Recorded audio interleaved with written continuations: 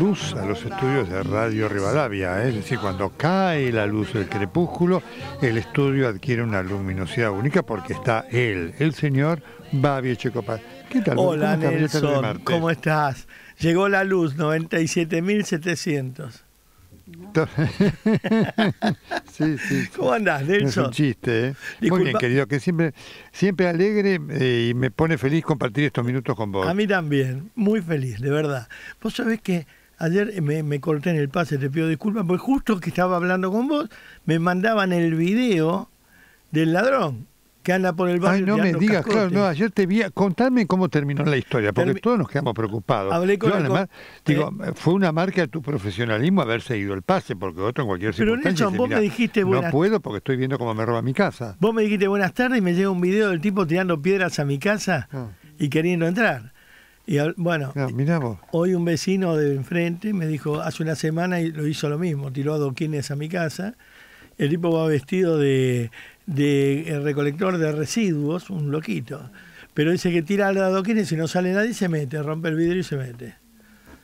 Así qué que, bárbaro, qué eh, bárbaro. ¿Y, lo agarraron? ¿Está identificado? Eh, lo agarraron, sí, sí lo, lo, no, no, no lo agarraron, están investigando. Ahora un tipo con, bien, bien visible porque eh, si el otro muchacho también hace una semana dijo está vestido así, así, no es que está de pullover gris y jeans Está con la ropa con los colores fluorescentes, con todo, ¿viste? Por supuesto. Falta que pase y tiene una piedra de comisaría. Pero bien, el comisario muy amable dijo que iba a poner. Me dice, tengo que ir a la jefatura a pedir autorización. Le digo, pero con el video, ¿qué jefatura? ¿Qué autorización? ¿Hay un tipo ¿Autorización de, qué? ¿Eh? Y, pero viste, los protocolos de la provincia son. ¿En serio? Existiendo un video que hay un alguien robando la casa de una persona, tiene que pedir permiso a quien, a la superioridad. al, comité de, arriba.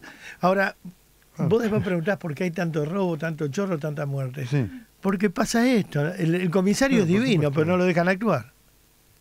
Pero me dejas de lado, pero no sabía que un comisario... Y si él ve, suponte que lo hubiera visto. Sí.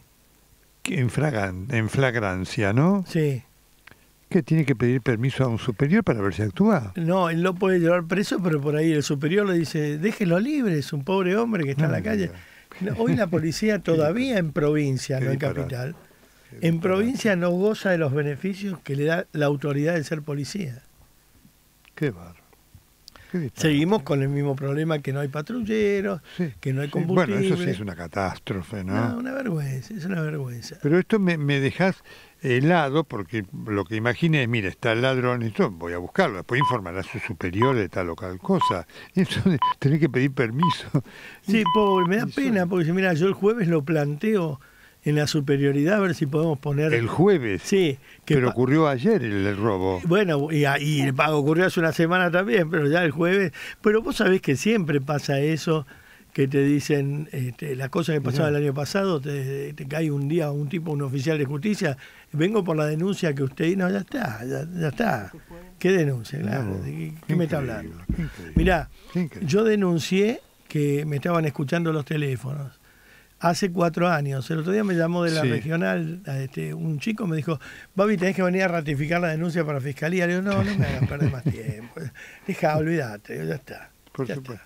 Es una vergüenza cómo funciona. Pero te, insisto, estoy todavía impactado, vos no me ves, pero estoy impactado por lo que acabas de contar. Es decir, vos vas a la policía, mostrar, porque mostrar que te están robando tu casa en el momento que te lo están robando, y el policía dice, mire, tengo que plantearlo en el comité el jueves que viene, es un disparate absurdo. Pero mirá, por, eh, te voy a mandar a vos, pero por, por respeto al comisario que es un amor con los vecinos, no te paso la grabación.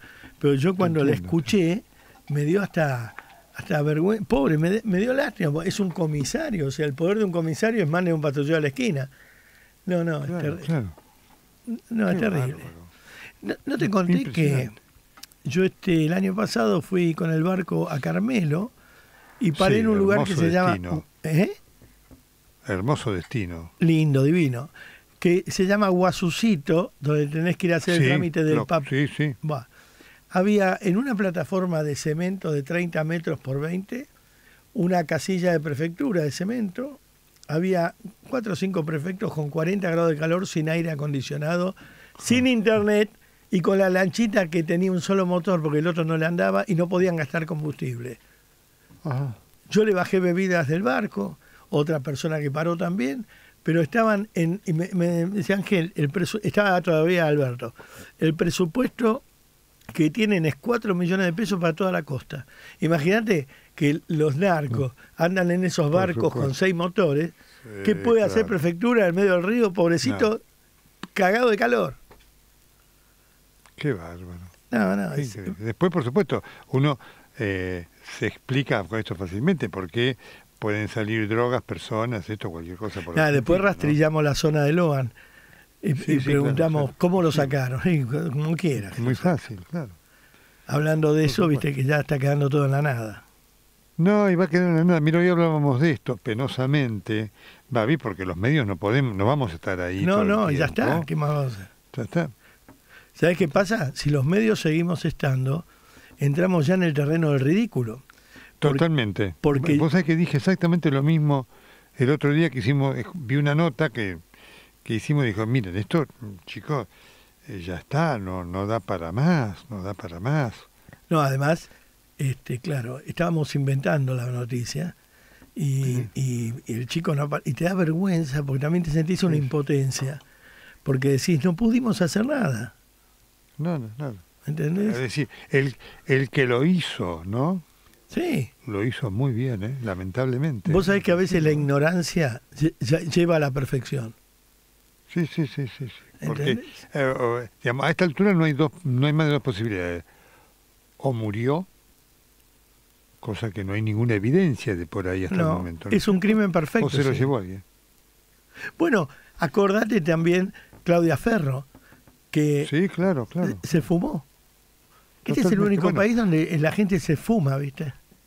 ¿Te acordás de esa chica Florencia Penaggi? Penacci? También. Ahí salió a comprar el diario en pleno centro de Palermo, nunca más se supo nada. Bueno, no sé, ¿viste? La verdad que parece que se las traga la tierra. ¿En qué fallamos, Sí, sí. no? Porque a, a- a lo mejor yo estoy muy inducido por la televisión, pero veo que de un pelo de los testículos del gato de Nefertiti, eh, ¿saben qué calzoncillo tenía Tutankamón? Sí, sí, sí, sí, sí. Y a nosotros con la pisada llegamos a otro lugar que las perdemos. Totalmente. Sí, sí, sí. Es, es muy profundo todo esto. Y- Además, lo que te cuenta la gente, que eh, uno siempre dice, mira, será verdad, será cierto. Lo cierto es que la gente allí en esa zona tiene relatos de desaparición de chicos como si fuera de una habitualidad y que te impresiona, ¿no? Igual, igual te digo, eh, eso es para los delincuentes. A nosotros nos Sí, paran sí, cada sí. dos cuadras, te lleva el auto a la grúa. Yo, viste que hay un restaurante que se llama La Raya, que queda en retiro. Sí, sí. Yo te sugiero que vayas ahí y salgas del restaurante a las 12 de la noche. La película El Mirá regreso vos, de los sí, muertos claro. vivos es de Disney. Mira. Pero la gente está sin cerebro, descerebrada. Vos sabés que pasan con, pasan con las mantas tapándose con una frazada de a 10, no sé a dónde van, a ningún lado, y, y todos drogados y, y borrachos, pobrecitos, y ninguno tiene sensibilidad ni piensa. Es, es terrible. Tremendo, tremendo. Pero cientos, ¿eh? No te hablo, Nelson, de Sí, dos. sí. Te digo, por lo menos ves 100 personas que pasan durante la noche buscando Claro. algo para dormir. Qué tremendo, ¿eh? Terrible, terrible. Qué bárbaro. Nos regocijamos con la pobreza. Y bueno, Totalmente, totalmente. Pleno centro de la ciudad, ¿eh? Retiro no es una zona marginal, ¿eh? lo que pasa es que la, la pobreza no se la, no se la cuenta, se la combate. Se la combate, efectivamente. Así es. Bueno, Así Nelson, es. querido, hoy, Alegría compartir este momento contigo. hoy está con nosotros Pampito, que se suma a la Uh. mesa. Estamos muy contentos. Perfecto. Muy Le contento de estar acá. Muchas gracias por la oportunidad. saludo, No, ¿sí? real, te la mereces. Bueno, Nelson, voy a disfrutar de la compañía de la mesa. Ya disfruté del pase con vos, soy un tipo feliz. Gran programa como siempre. Babi, un saludo para todos, para vos y para la mesa. ¿eh? Un Sigan beso. escuchando a Babi en su programón en Rivadavia. Chau, chau. Chao, Nelson.